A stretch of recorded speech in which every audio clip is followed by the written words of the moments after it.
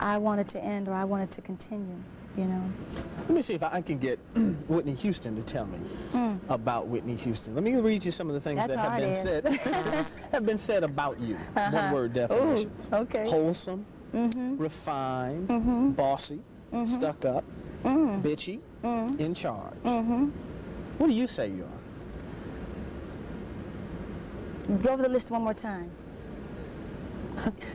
Bossy, refined, wholesome, stuck up, No, not stuck bitchy, up. in charge. I can be bitchy on when I get my monthly. I can be very bitchy. I think when you PMS can make you that way.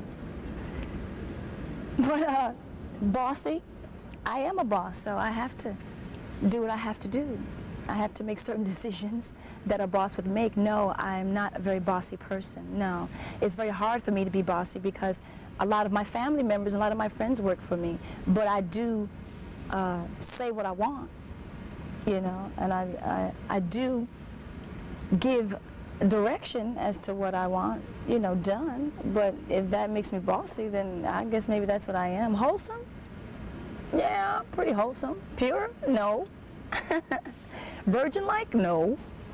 Uh-uh. Saint-like? No. Uh-uh.